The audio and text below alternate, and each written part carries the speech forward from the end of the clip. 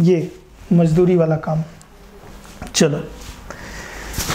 Suppose the charge of a proton and electron slightly differ अभी तक charge क्या हुआ करते थे? प्रोटॉन और इलेक्ट्रॉन पे चार्ज मैग्नीट्यूड में इक्वल हुआ करते थे। साइन में अपोजिट हुआ करते थे। यहाँ मैग्नीट्यूड ही चेंज कर दिया।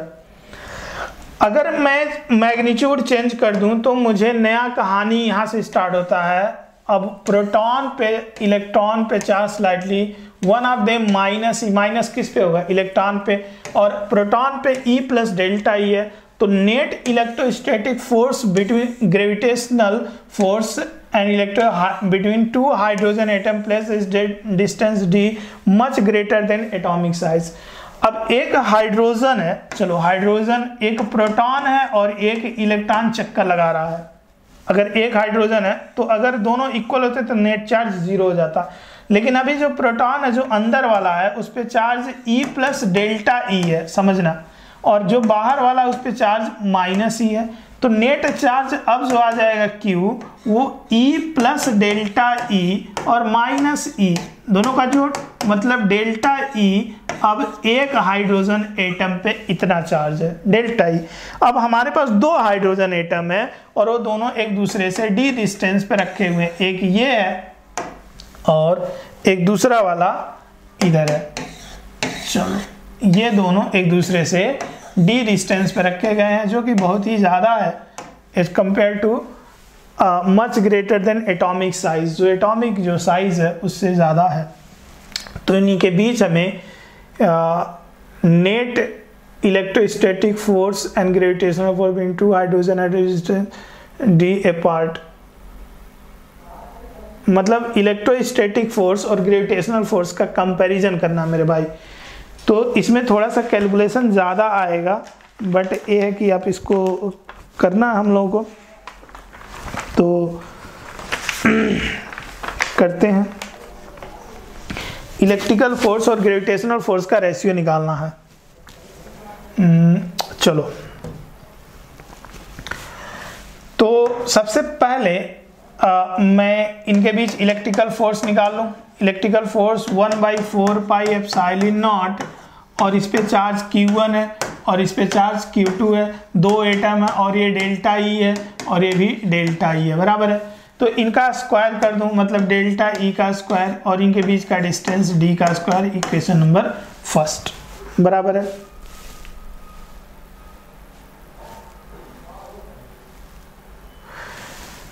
नहीं एक्चुअली जो फोर्स है वो ज़ीरो है बैलेंस में है नेट एफर्ट ज़ीरो फोर्स है। मतलब अब देखो, जब इसको यहाँ पे रखोगे मेरे प्यारे बच्चों, इसको यहाँ पे प्लस तो इस पर नेट चार्ज डेल्टा ही है और इस पर भी नेट चार्ज डेल्टा ही है। तो इलेक्ट्रोस्टेट की वजह से इनमें रिपल्सन स्टार्ट हो जाएगा, समझना? और ग्रेविटेशन इसके पास मास है तो ग्रेविटेशन के कारण अट्रैक्शन स्टार्ट हो जाएगा।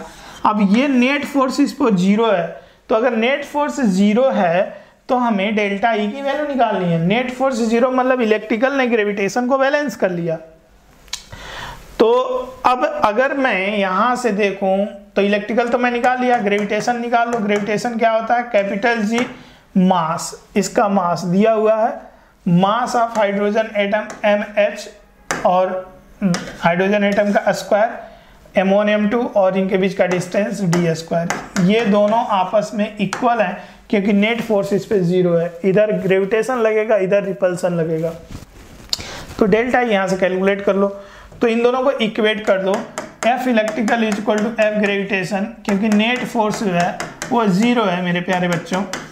बराबर है। तो one by four pi epsilon naught और डेल्टा ई e का स्क्वायर अपन डी का square is equal to G mass of hydrogen का स्क्वायर अपन डी का स्क्वायर तो डी स्क्वायर ने डी स्क्वायर को तो हमें डेल्टा ई e चाहिए यार. तो डेल्टा ई e की जो वैल्यू आ जाएगी, वो आ जाएगी four pi epsilon naught और capital G mass of H का square under root this is the delta E finally four pi epsilon naught ये. अब वैल्यू पुटअप करना है. तो वैल्यू पुटअप करो यहाँ से। One by four pi epsilon naught की जो वैल्यू होती है, वो होती है नाइन इंटू टेन की पावर नाइन तो epsilon epsilon naught की वैल्यू वन अपन नाइन है। इसका मतलब ये हुआ कि नाइन इंटू टेन की पावर नाइन अब जी जी की वैल्यू डालो तो six point six seven into ten की पावर माइनस इलेवन मल्टीप्लाई कर दो mass 6.67 point six seven into ten की पावर माइनस मास की वैल्यू दिया होगा। 6 point one point six seven into ten की power minus twenty seven. One point six यहाँ से आ जाएगा। One point six seven into ten की पावर माइनस ट्वेंटी सेवन का स्क्वायर ये सब अंडर रूट है। और ये जो खतरनाक काम है, वो खतरनाक काम आप करोगे। अप्रॉक्सीमेटली कैलकुलेट कर लेना अप्रॉक्सीमेट टेन की पावर माइनस थर्टी सेवन के आसपास आ जाएगा।